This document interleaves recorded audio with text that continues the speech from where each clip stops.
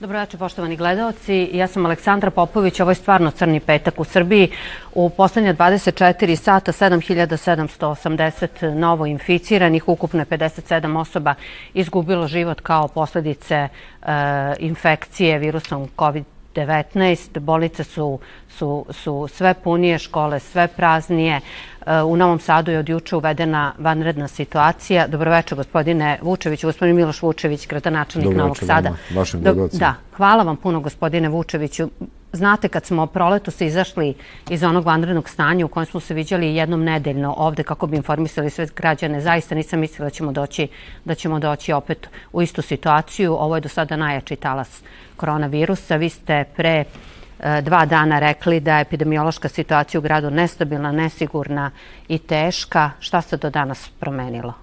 Manje više situacija ista, nešto smo imali bolje, da kažem, rezultate, odnosno bolje brojeve a, 25.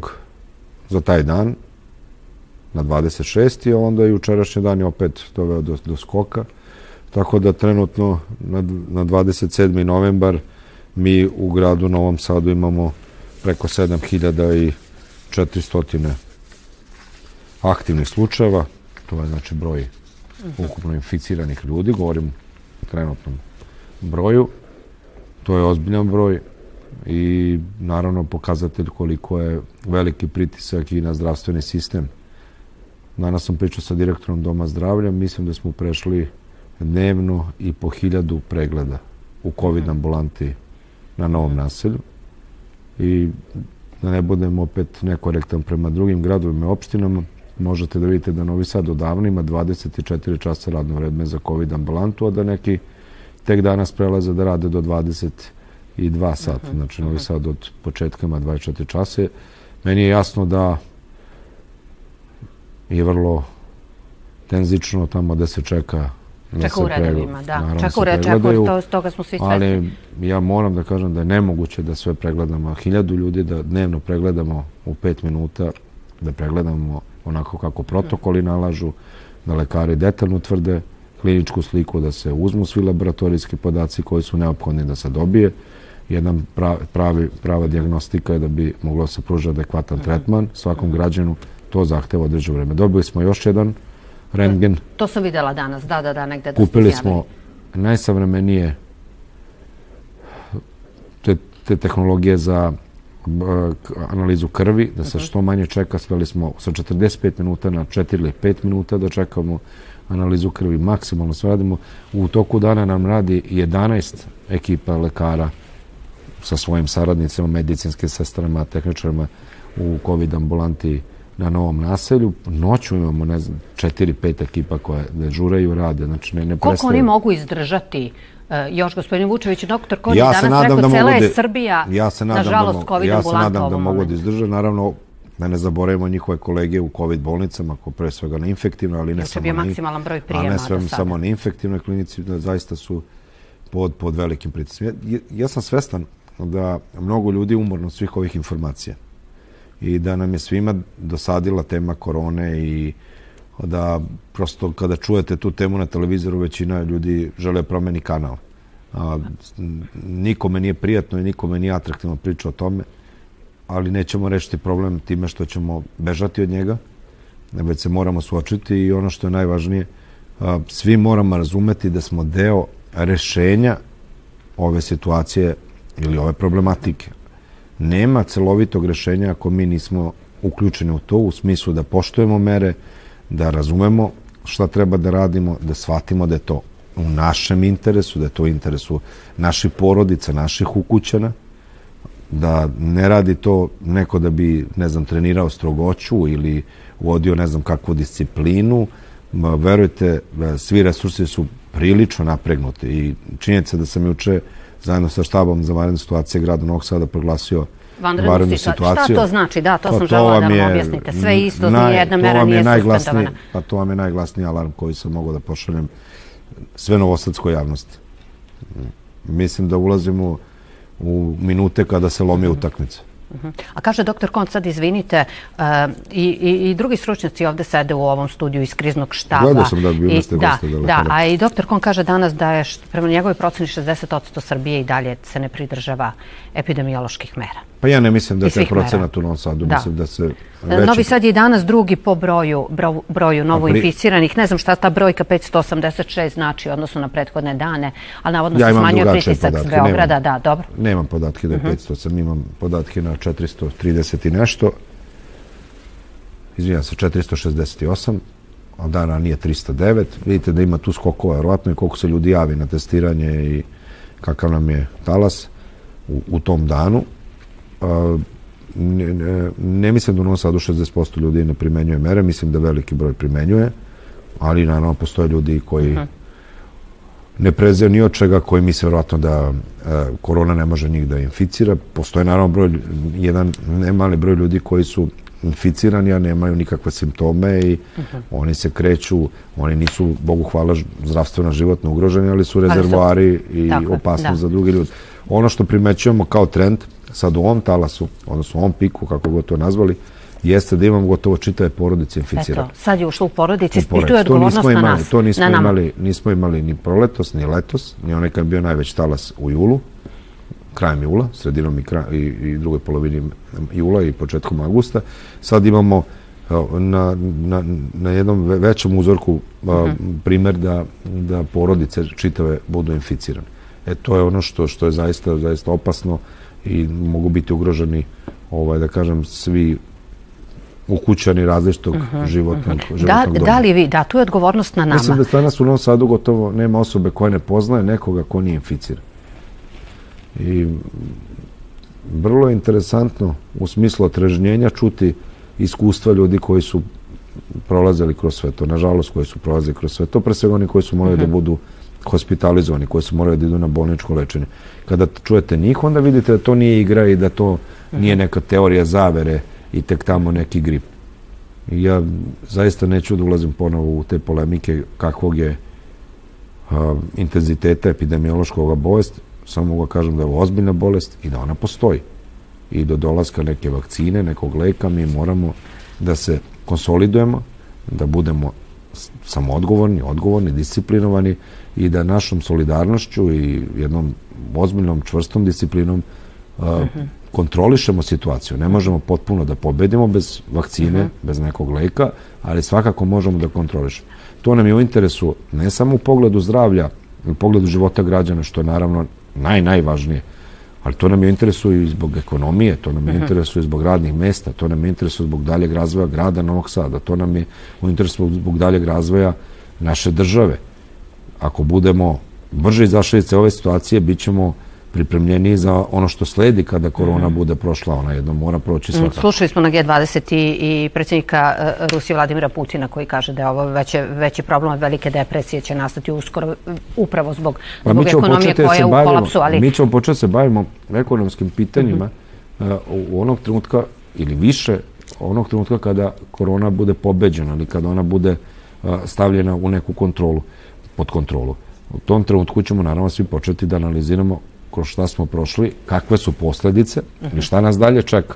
Zato je vrlo opasno posle. da taj naš nekada olaki pristup i haj huj ponašanje i tako potpuna jedna razbrbliga u, u borbi sa tim će nam se obiti o glavu ako ne budemo to odbili od sebe kao jedno nekorektno i, i, i, i necelishodno, necelishodno ponašanje. E, gospodin Vučeviću, šta je to što grad još, još, e, još može da uradi? Vi ste i proletos upozoravali na taj problem kada, i, kada smo bili u vanrednom stanju e, na te da se iznajmljuju stanovi, da se iznajmljuju kuće, da se i dalje prave kućne žurke. To je, to je nažalost i, i danas trend. Danas smo imali redove ispred COVID ambulanti, ali smo imali redove i ispred trgovine. Ne bi stvarno da ulazimo u to kome, kome je bilo teže na čekajući, ali e, šta, su, šta kažu izvrštaj inspekcijskih službi? Koliko se te mere poštuju i dokle su granice njihove, e, njihove e, dokle su granice do kojih oni mogu da idu. Kućni red je promenjen, zabranjeno je okupljanje i u domovima i proslave i intimne, privatne Promenili smo proslave. odluku, mi smo da. doneli kao grad i odluku, odnosno posebne mere vezane za odluku o kućnom redu, zabranjali bilo kakva masovno, masovno okupljanje u privatnim stanovima, stambenim jedinicama, da bi suzbili tu mogućnost, odnosno mogućnost da dolazi koncentra, u tim prostorima koncentracija većeg broja ljudi, što je epidemiološki veoma rizična, opasna, rizična da, situacija.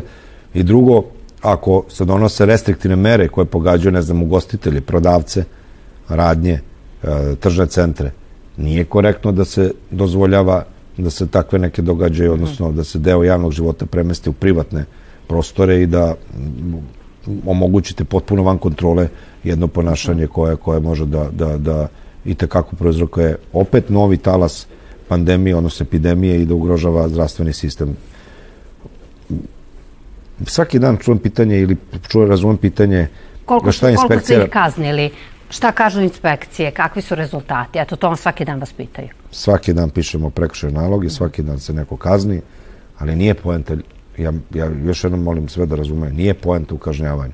Mi svaki dan kažnjavamo, ali ako će sve da se svede na sankciju samo, mi ne možemo pobediti u ovome. Ako ćemo svaki dan samo da se takmičimo koliko ćemo kazne da napišemo, ne možemo pobediti u ovome. Mi ne želimo niko, nikoga da kažemo. Mi bi želeli da svi poštuju mere. Mi nismo željni nikakvih postupaka, ni prekršenih, ni krivičnih, ni inspekcijskih. Žele bi da vidimo jedan lanac solidarnosti, odgovornosti, uzajamnosti da kontrolišemo ti situaciju. A naravno ćemo sankcionisati svakoga, svakoga ko kršite odredbe, odnosno mere. Da li možemo stignemo istovremeno na svako mesto? Pa ne možemo. Zato ja molim ljude da razumeju da moment kad smo proglasili vanrednu situaciju u gradu jeste poziv na uzbunu. Jeste crveni alarm, nismo još u naranđastom. Mi smo u crvenom. Pitali ste me šta grad još može da uradi. Da, i koliko će trajati ta vanredna situacija, je li to oročeno, nije? Sve što smo pa, vremenski oročeno u smislu, vremenski oročeno u smislu epidemiološke situacije. Uh mhm. -huh. Mi smo gotovo sve mere doneli. Sad je na nama, sad se lomi utakmica, kao što sam rekao. Sad je pitanje naše kontrole, naše discipline, naše poštovanje mera, naravno i inspekcijskih nadzora i sankcija prema onima koji to ne, koji to ne poštuju, odnosno ne primenjuju. Ali da zatvaramo grad, ja saista to ne želim da vidim. Šta možemo da uradimo? Nadam se da toga neće doći da, ne daj Bože, pretvaramo sajam u to sam htjela da vas bolnicu. pitam. Nadam da li se razmišljate? Da toga... Ka... Pa ja moram da razmišljam o, o svim scenarijima. scenarijima. Nadam za koliko da, ga možete pripremiti u tom za slučaju? Za 48 sati. A nadam se da neću to morati da radim. Uh -huh. Nadam se da neću to morati da radim. Danas, večeras, kada gostujem kod vas u, u vašoj novoj staroj kući po prvi put i čestitam na tome. Zaista izgleda veoma impresivno. Čestitam. Hvala.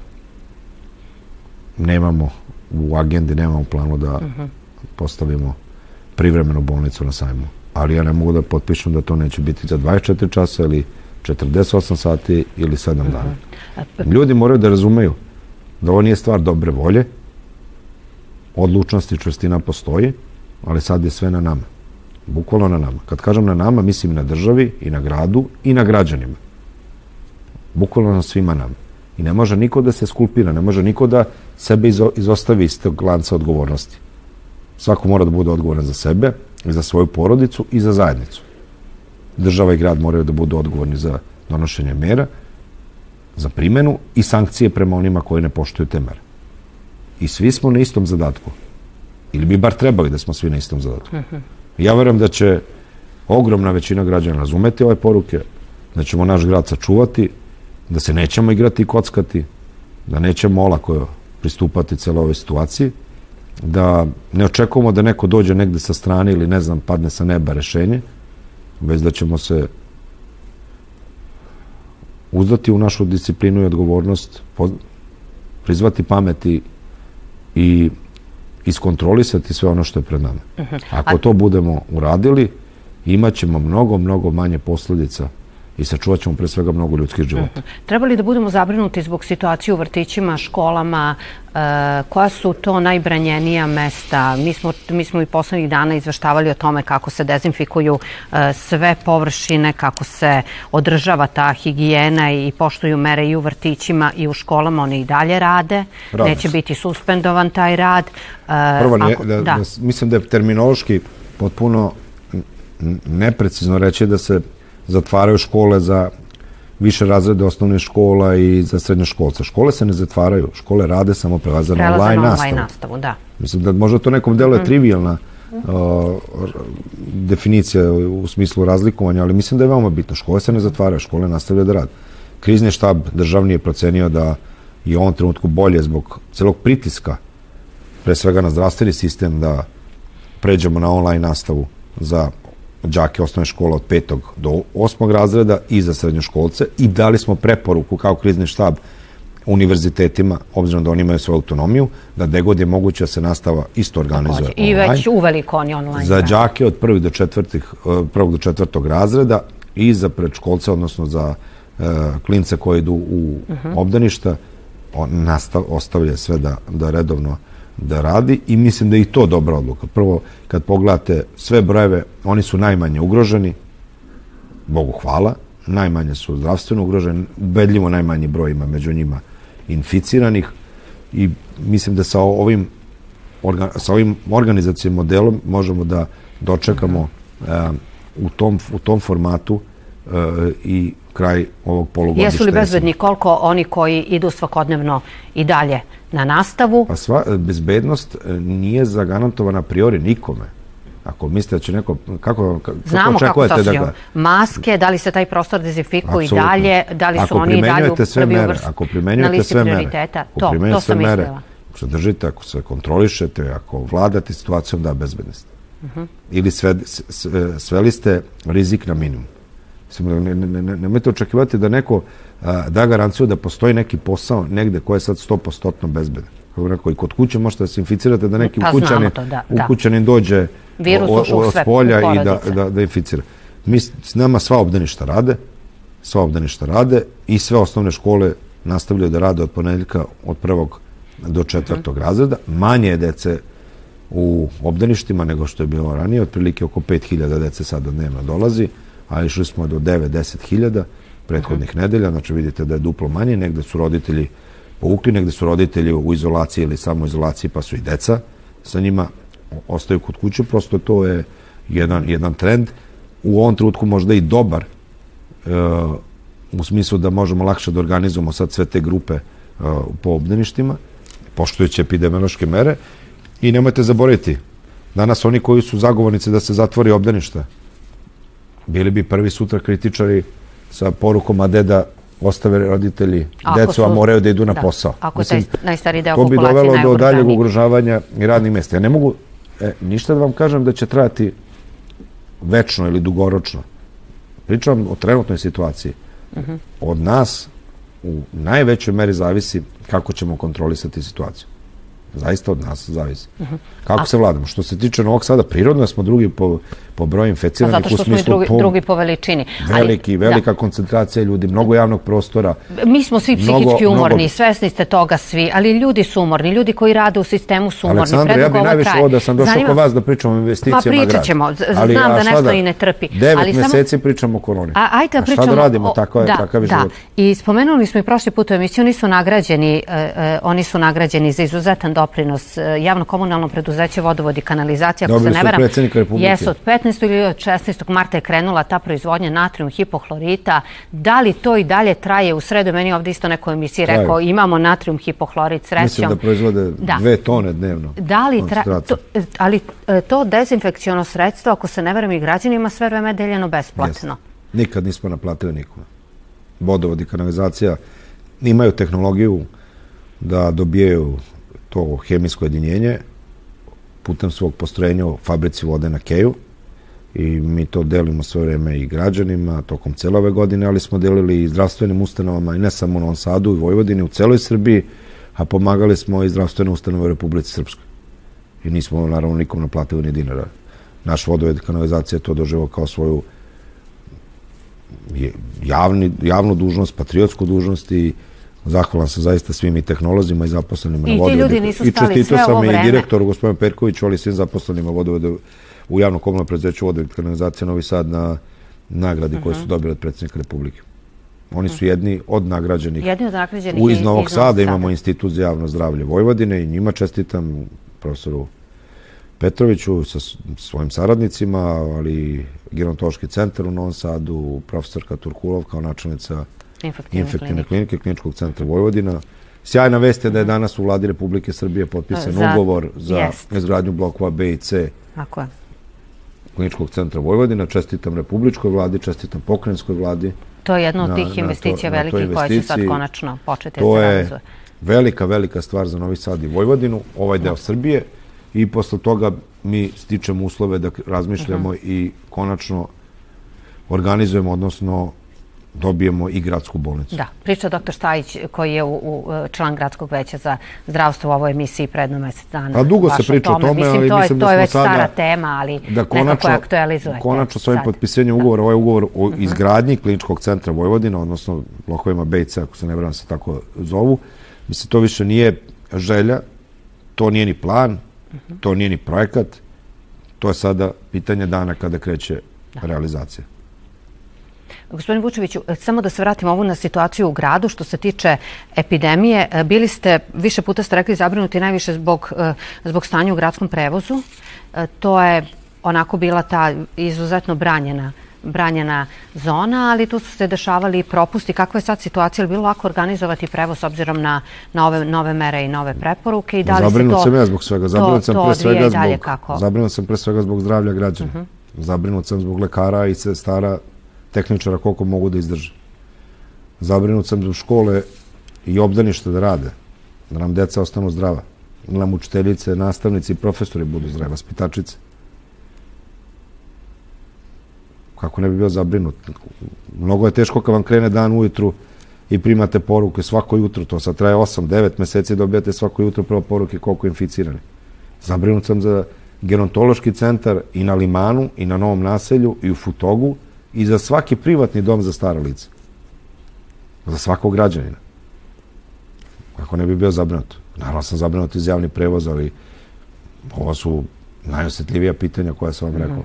Ne možete da ne možete mirno ni da spavate kad ne znate šta će vam sutra dan doneti. I da li ćemo biti bolji ili loši, da li stabilizujemo situaciju, da li imamo kontrolu ili gubimo kontrolu. Kada dobijam poruke od profesora Petrovića, od uh, gospodina Bojata iz Doma zdravlja, gospodina Živanovića iz hitne pomoći, nije mi dobro. Kad mi profesor Turkulov ili profesor Gojković pišu, ja ne, ne, uvek sam, ne znam kako da otvorim poruku, šta, šta će biti u poruci. Ne karikiram, zaista vam kažem. Pa zato ako, ako živite za ovaj posao, ako živite za svoj grad, ako se borite za svoje građane, ako želite da, da vidite uspeh za svoj grad, za svoje ljude, za svoje sugrađane, Ne možete da budete imuni be, od problema i brige. Zato i molim ljude da, da, da razumeju da doneli smo odlučne, odgovorne mere, ali ljudi moramo primenimo te mere, moramo da poštujemo te mere. Moramo stalno čekamo da dođe neko da nam primeni te mere. Uh -huh. Te mere se odnose na nas. I mi smo zaduženi za njih, kao građani. Ja još jednom molim da ljudi razumeju zašto su donete sve mere, Zašto je juče proglasio vanrednu situaciju u gradu? Kao komandant štaba za vanredne situacije i da to jeste poziv na, na uzbunu da sačuvamo Novi Sad. Da sačuvamo, kad kažem Novi Sad, mislim na građane, mislim na ljudske živote, mislim na zdravlje naših građana. Zdra... I da, mislim i na ekonomiju. Da, zdravlje prvenstveno, mislim na ekonomiju, nam je. Na ekonomiju grada, mislim i na investicije grada. Zdravlje prvenstveno. Jer vi imate s jedne strane, zatvorite sve, a s druge strane, Treba da razmišljate o radnim mestima, treba da razmišljate o poslovima, ljudi treba da žive sutra. Da, danas je bila evo i zdravlje da pre svega, danas, ali da ljudi zdravi ljudi mogu da rade. Pa ja neću da, ne mogu da, da radimo. Ja, mi se, želeo bi da svi ostanu na radnim mestima, da nijedan konobar, kelner, nijedan prodavac, trgovac ne ostane bez posla. Da nijedan turistički radnik ne ostane bez posla. Iako im je ovo verovatno nezamislivo, nezamislivo teška godina. Da. Nije, nije jednostrana priča. Ne možete da gledate samo jednu stranu ove knjige. Mora pogledate sve stranice, da pročitate sve. Mhm. Kada donosite odluku. A nema, a nema Nema, nema, nema ni... knjige sa gotovim rešenjima. Da, posebno u ovoj situaciji kad virus još i sami stručnjaci kažu ne poznajemo dovoljno. Mnogo je lako od kuće znati kakav tim treba da igra u reprezentaciji Srbije u futbalu i kako Đoković treba da igra na turniru u Londonu i kako treba lekari da leče i kakve država treba da donosi odluke. Ali neko to mora potpiše i neko mora da odgovara za to. Gospodine Vučeviću, danas Skupština grada. E, pitam vas zato upravo o toj ekonomiji. E, po onome što sam videla sa današnje sednice, e, to je devetovesečni, devetovesečni izveštaj. izveštaj o izvršenju budžeta za poslednjih devet meseci 7505 zaposlenih više u Novom Sadu i to u privatnom sektoru.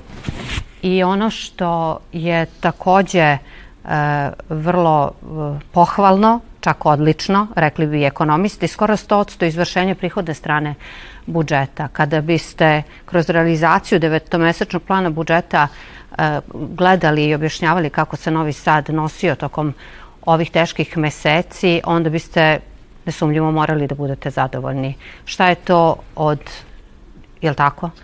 Jel se slažete? Je, ili mislite da je moglo bolje i više?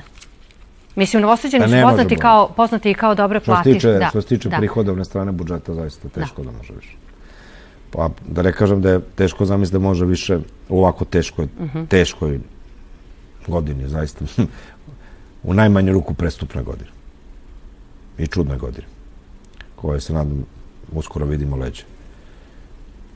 Zadovoljan sam s te strane i to jeste jedna velika pobeda i moja lična i cela administracija zahvalnost građanima, građanima Novog Sada na odgovornosti prema svom gradu, na čuvanju svog grada, na razumevanju da je to naša zajednička gradska kasa. Mislim da je to i odraz poverenja prema gradu, da znaju da ljudi, da građani znaju da se odgovorno rukovodimo kada donosimo odluke kako raspolažemo gradskim novcem, da nisu nikad videli rasipništvo za ovih prethodnih osam leta, ušli smo u devetu godinu, i naravno odraz snage novosadske privrede, koja je daleko danas jača nego što je bila, ali koja će svakako biti na velikim izazovima zbog ove vrlo teške godine prouzrokovane COVID-19. To nam daje jednu nadu da možemo iz ovog svega da izađemo sa što manje posledica, uh mhm. -huh. ali da bi imali što manje posledica, pre svega moramo da stabilizujemo epidemiološku situaciju, da ne gubimo kontrolu, da čuvamo ljudske živote i zdravlje, građana da bi se uspešnije borili za svako, ali bukvalno svako radno mesto u Novom Sadu. A, ja I uopšte nije pitanje brojeva, zato što iza svakog od tih brojeva stoje nečije imena, nečije ime i prezime. To su ljudi, to su građani, to je grad. Ti ljudi čine grad. Um, statistika je vrlo interesantna, ali me mnogo više interesuje šta ljudi misle. Kako se građani osjećaju. Tih 7000 i nešto više zaposlenih, to su neka imena i prezimena. Ti ljudi imaju neku platu i primanje. Ja sad drhtim koliko će ljudi i da li će neko ostati bez posla zbog sve ove situacije. I to neće biti brojevi. To će isto biti neka imena. I mi moramo gledamo kako da sa što manje ekonomskih posledica kroz sve ove prođemo. Zato što danas fokusirani na zdravlje, mi ne smemo, a zdravlje iznad svega, zdravlje nam je najvažnije, Mi ne smemo da zanemarimo aspekt da ljudi moraju sutra da imaju plate i penzije, kao što je danas moraju da imaju. Da, da li planirate... I da nastavimo da, da deca idu besplatno u obdanište, da niko ne plaća ni dinara u gradskim obdaništima, da smo u rebalansu budžeta povećali za 300 nove dece u privatnim vrtićima subvencije, da ni od jedne investicije nismo odustali u mhm. gradu, ni jedne. Da nismo odustali ni od jedne socijalne subvencije, da nismo odustali ni od personalnih asistenata, a mislim da smo primjer u državi kako smo uveli, da nismo odustajani od Evropske predstavnice kulture, da nismo odustajani od jednog velikog infrastrukturnog projekta, ali i od jednog malog projekta. Uh -huh. Mislim da nastaviti program Opensa, odnosno uh, omladinske predstavnice, i to je danas bilo na Skupštini grada. Zato što je to ali, naša politika. Da, ali, Mi želimo, vidite, uh, uh, Opens ili omladinska predstavnica Evrope na, nama legat iz 2019. Dobro. I to je ono što sam pričao i prethodnih godina. Verovatno to nije pretrano interesantno, ja sam toga svestan. Svestan sam toga a, nije to pitanje jedne godine titule. Mi smo, pitanje... mi smo modulirali, mi smo praktično napravili jednu, i, i, jednu priču da traje dugo, da, da mladi vode politiku o mladima. Da smo to izmestili iz neke biro, biro, nekih usko birokratizovanih procedura. Smo rekli, drugari, nema ste nezadovoljni, nema da sledite sa strane, kibicujete, dobacujete, i da čekate da li će neka odluka biti dobra ili loša. Evo, uđite u... Pa niko im nije davao šansu, gospodine Vučeviću, toga ste i sami svesni, samo su statirali. Pa to nikad niko nije uradio. Da, dobro, evo, lepa vest i od, i od danas, kada su ti mladi, kada su svi mladi u pitanju, ne samo da je Novi Sad i Srbija prepoznata kao jedna od... A to sve košta, Aleksandra. Da, kao jedna od najpozna, najpopularnijih destinacija za dan posle, mada se turisti sad kažu, kažu uh, analitičari Jeste Forbesa, da nas se Forbes stavi u prvi pet destinacija. Srbiju, tako je, celu zemlju A, Novi Sad i, i Novi Sad posebno. S druge strane, danas ste bili smo sastanak Exita, neće, pa ne, neće ja Exit rekao, otići iz Novog Sada. Ja sam odmah rekao da je Exit nezamislivo da ide iz mm -hmm. Novog Sada i Do. nisam imao tu nikakvu dilemu. Ne. Znate šta, nije Exit stolica ili ovaj sto pa da ga možete premestiti u jedan ili drugi studio. Exit je veliki, veliki, veliki brend, ali Exit je neraskidivo vezan sa gradom, sa tvrđavom, sa Dunavom, sa čitavim ambijentom. I nije to pitanje tek tako da na joystick uzmete pa premeštate nešto. Uh -huh. Imao sam dobar razgovor sa, sa Dušanom Kovačevićem i nas dvojica smo apsolutno bili fokusirani na 21. Uh -huh. Verujući da ćemo imati daleko, daleko bolju epidemiološku situaciju, odnosno da ćemo moći da vidimo 21. u julu exit. Mi živimo, radimo, borimo se, da. to nadi Dobro, da ćemo... to su te neke lepe vesti danas sam koje, imao sastanak i sa uh, jednim uglednim Japancem koji je predstavnik Japansko-evropskog fonda koji sarađuje sa Evropskim predstavnicama kulture, koji mi je prenuo da oni očekuju da u Tokiju ipak bude sledeće godine olimpijada. Naravno, kad pričamo o olimpijadi, govorimo o olimpijadi sa publikom. To su stvari za koje živite i borimo i borite se. A, gospodin Vučeviću, dana, danas, e, ako se ne veram, poslanici, odbornici Skupštine grada su odlučivali o projektu konačnog rešavanja onog e, divljeg naselja Bangladešu. Da. Je li moguće da će biti A, humanizovan život ljudi, e, da, naših sugrađana donatorima, tako je, idemo na izgradnju kuća, to će biti tipske, lepe kuće, s razmerne broju članova domaćinstava. Uh -huh. Bangladeš neće biti više neko naselje u koje ne želite da uđete ili da vidite i da ih gledamo sugrađane koji tamo žive nekako sa strane, na marginama života, da se oni osjećaju odbačeno, da i oni naravno moraju da se inkorporiraju, da se uključe u život grada, da kao i za sve ostale vraža iste pravila. I verujem da je to jedna lepa poruka danas u Skupštine grada, ali svakako pre svega nam je fokus borba za da. živote za, i zdravlje za, za građana da. i očuvanje ekonomije Novog Sada. Jeste, a kad, kad ste već pomenuli ekonomiju, samo bih vas molila evo da pogledamo, vi, vi ćete prepoznati, tačno 5. marta ste uh, bili na otvaranju uh, fabrike čokolade, uh, polaganju one čokoladne kocke. Da. Da sam u Novom Sadu, na autoputu, vi često spominjete kako Beri Kalebo danas izgleda. Evo još jednom ćemo pokazati, nadam se, uskoro našim gledalcima kako da. izgleda, kako trenutno izgleda gradilište fabrike čokolade Eto, na izlazu iz Novog Sada ili ulazu u Novi Sad. Za manje od devet meseci, da. da. tako? Eto, za nepuni devet meseci. Je li ovo prava slika novosadske Jest. ekonomije, odnosno gde je novosadska privreda danas i Naravno, kako je ne može usporiti? veliki logistički centar Univera i to je do pre tri godine isto bila prazna isto livada. Isto prazna livada, da. Sada iza vaših leđa se -hmm. nalazi Sever 4, tu već imamo dve fabrike i u velikim pregovorima da kompletno opremimo I još moguće. Sever 4. Da. I još nešto. Sa novim fabrikama, sa neverovatnim investicijama, ako to uspemo da dovedemo u Novi Sad. Beri ide odlično i ja verujem da ćemo na proleće sledeće godine imati fabriku sa Akademijom čokolade. Mm -hmm. Nažalost, ova pandemija sprečava da predstavnici Beri Kalebo dođu u Novi Sad i potpišu sporazum sa Tehnološkim fakultetom mm -hmm. Univerziteta u Novom Sadu, gde će oni uspostaviti jednu trajnu saradnju i najbolji stručnjaci, đaci, u studenti, izvinjam se, ali i profesori sa Tehnološkog fakulteta u Novom Sadu će raditi i obavljati praksu Dobro, to samo Beriće, fizički, verovatno nisu mogli da- Beriće, da budu prisutni, da, ali, to je završena priča. Apsolutno. To se pa Berikale, Berikale Boka je došao na njihovi predstavnici, oni su odmah tražili kontakt sa, sa, sa, sa našim univerzitetom, sa fakultetom, tehnološkim fakultetom, kao što I Continental kad je dolazio odmah su pričali da. sa fakultetom tehnička nauka, kao što je Nidek imao. E, da li Nidek, da li, gospodine Vučeviću, da li, e, kakve su sada šanse, koliko smo blizu onoj stoprocentnoj e, verovatnoći da će Nidek otvoriti svoju fabriku u Novom Sadu i njihovi časopisi su pisali ekonomski o tome, najavili da planiraju 2 milijarde dolara, dolara da ulože. se o neki od sastanaka Da, ovo je prethodni sastanak, da, ovo kad smo bili kod predsjednika Republike, da, da, da. gospodin Seiko da. bio, to je drugi čovjek kompanije, u sredini sa leve strane. Dobro. Dolaze ili ne? Pa ja mislim da su blizu da dođu. Ja ne mm -hmm. mogu da kažem da dolaze sigurno, zato što nisu doneli finalnu odluku, ali činjenica da smo imali peti sastanak sa Nidekom ili Najdekom, kad bi engleski Dobro. izgovarali. Mislim da je Nidek na japanskom. Je dobar znak. Vidim da ulazimo u razgovorima već u detalje. Ali to su sad pitanja finesa. Jako je to velika kompanija. Ja pozivam sve koji imaju mogućnosti i vremena i želju da istraže na internetu, to je sad sve dostupno da ukucaju Nidek pa da vide kakva je to kompanija. I ono što je fantastično, oni bi ovde radili motore za električne automobile, što je budućnost automobilske industrije.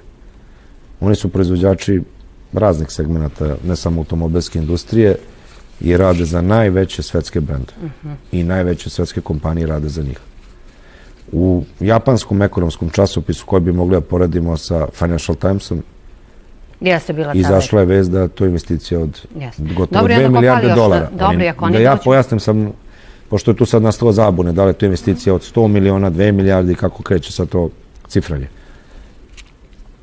Ako Nidek dođe u mhm. Novi Sad, oni su zainteresovani od 25 do 35 hektara da industrijske zone, što pokazuje da će oni ići naravno u segmentima, u fazama i ta investicija, ako bude došla, ako bude indeks predelio za Srbiju, za Novi Sad, mogla bi da naraste i do 2 milijarde dolara. Dobro.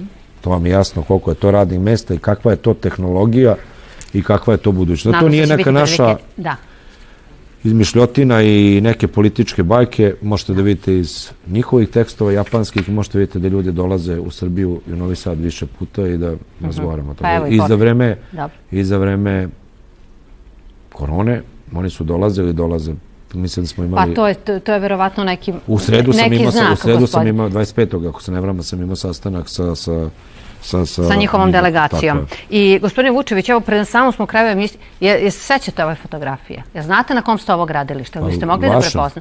Na našem gradilištu. Vašem? Na našem gradilištu. Da. Bio sam Mršaviji, da. Da, dobro. Na našem gradilištu. Ovo je jedna od onih investicija za tri godine e, Pre neki dan je bilo tačno tri godine kako je vremenska kapsula položena na gradilištu nove zgrade RTV-a. Čestitam, zaista. Da, da vi ste tada rekli, želim vam da se vratite konačno na vašu staru adresu Kamenički put 45. Ne znam da li ste verovali da ćemo za tri godine da pa sedimo da u studiju biti, na da. toj istoj adresi. Verovao sam da će to biti, video sam odlučnost i, uh mhm. -huh. i države i pokrene i grada da ćemo to da uradimo i delo je, ponavljam, impresivno, nova zgrada i čestitam na tome. Ja nisam bio nikad ranije u staroj, naravno kao čovjek koji živi ceo život u gradu, svi se sećamo i stare zgrade, ali danas ovo izgleda mnogo, mnogo ako smem da kažem i lepše, svakako modernije, tehnološki savremenije. Možda to neko će definisati da nije bitno za običan život, ali jeste, to je i znak našeg oporavka, e, je jedan simbol da mi možemo da popravljamo sve ono što je srušeno, da ne pričamo samo o nekim ružnim vremenima, nego da gledamo u neku svetliju budućnost. Tako da ovde je, pored funkcionalnog značaja, životnog,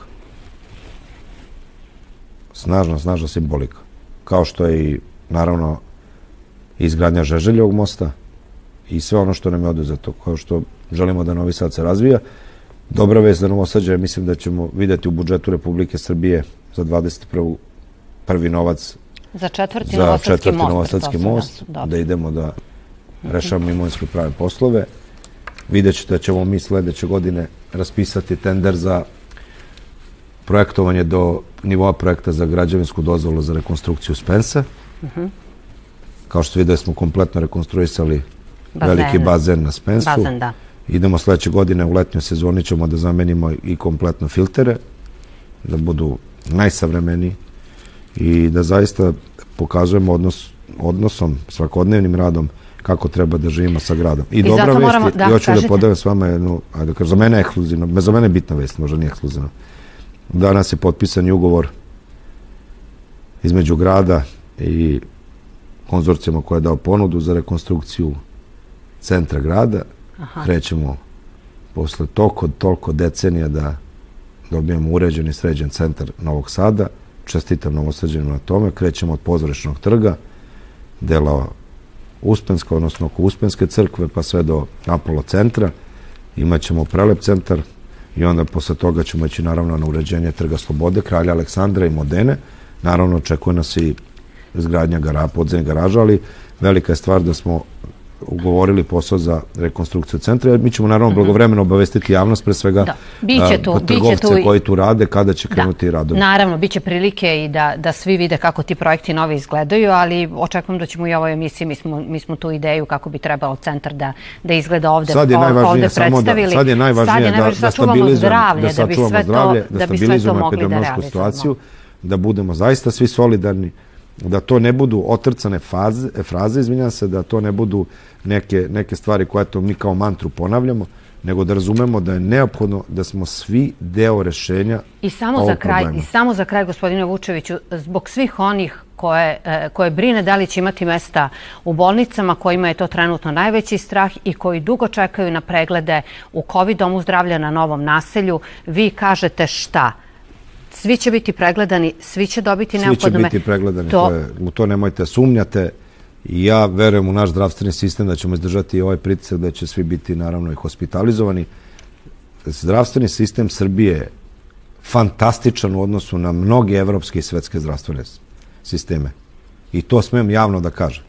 I nemoj da se lažemo i da pričamo kako u nekim državama bolje. Pogledajte mnogo bogatije države kakav su kolaps do, do, doživjeli. I vi imate rođak u jednoj državi preko okeana, drugom kontinentu, pa pitajte kada mogu da idu kod lekara svog i da ga vide. Ne može niko ni da priđe svom lekaru. I mailovima se javljaju lekarima. A kod nas naše zdravstveno osiguranje koje pokriva svega dva dana bolničkog lečenja, samo da građani Srbije znaju koliko mi izdvajamo godišnje svako od nas, od plata i penzija, to je, to je troškovo i za dva dana lečenja, toliko prosečno platimo. Zdravstveni sistem Srbije svima pruža zdravstvenu pomoć i nego. Da li nekad bude propusta, da li nekad nešto ide sporije? Ima i toga svakako. Ali da. nismo doživali kolaps kao što su mnogo, mnogo razvijenije države doživale i nismo vršili trijažu i selekciju kome ćemo pružiti zdravstvenu pomoć. Zdravstvenu pomoć. I to je velika, velika pobeda naših zdravstvenih radnika i naše države. I na tome građani moraju da budu ponosni. I zato mnogo maske, je lakše, distanca... Mnogo je lakše tvitnuti nešto protiv zdravstvenog sistema ili ne znam reći ko šta koliko čeka. Ljudi, mi nismo u situaciji kao neke, nažalost, države koje su građane ostavljali bez zdravstvene pomoći. I rekli ko će da ide na respirator ili ko će bude primljen u bolnicu ili ko će bude pregledan. Ali nemojte da se kockamo, jer kapaciteti nisu neograničeni. Kapaciteti nisu neograničeni. I naše zdravstveno osiguranje vam pruža takav nivo zdravstvene zaštite po ovoj ceni, rekao bi kao ni jedno drugo. Samo da mi kažete da je to koliko u Švajcarskoj košta jedan dan lečenja, Samo nemoj kažete koliko je plata u Švajcarskoj, jer sam je to da. spreman da poradimo. Da, dobro. Koliko košta tamo bolnički da dan. I da, da, ne da pričamo taj, stalno da, je, ne, da, da je negde taj... drugde bolje. Pošto sam slušao na kriznom štabu, jedan član kriznog štaba rekao da mu porodite, deo porodice živi u Kanadi. Pa je rekao da. kako, kakav je odnos tamo uh, uh, građana. Evo ja znam lično kakav pa je odnos tamo građana. Kako ne vide lekara, bre, nigde, ljudi, da, nemoj da pričamo. Jeste, jeste. Gospodine Pri tome, Kanada je mnogo razvijenija i bogatija država od Srbije. Ja znam, da bi sačuvali taj sistem ali i naše, je da, i pomogli našim, i pomogli našim lekarima, sistem. samo evo za kraj, znači pridržavati se mera, nositi masku, propisane distance i svih mera koje je i štab i grad Novi Sad propisao. I poštovati naše lekare i medicinske situaciji. sestre, tehničare, ne medicinsko osoblje koje se bore. Da im pomognemo da nam oni ne ispadnu svi s koloseka.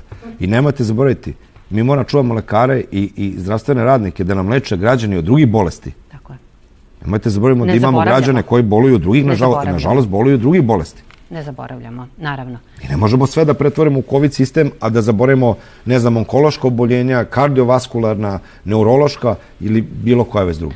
Eh, hvala vam puno, gospodine Vučeviću. Hvala vama i izvinjam se, teška je tema, teške Znam su teme. da je teška tema, ja ali znate da... Ja mnogo više ovo da pričamo da o petak, u petak uveče, pričamo o nekim investicijama, o lepim stvarima, o o Evropskoj predstavnici kulture, o novim obdaništima, ali doći će to na red. Spremili danas je, smo se i za to, danas je da najvažnije, da danas je najvažnije, zaista zdravlje. da sačuvamo živote i zdravlje naših građana, da sačuvamo naš Novi Sad, našu Vojvodinu i našu državu Srbiju. E, čuli ste gradonačelnika, hvala vam puno i do sledećeg viđanja e, čuvajte zdravlje, pridržavajte se svih mera, maske, distanca i sve ono što je štab propisao. Prijetno večer, svako dobro.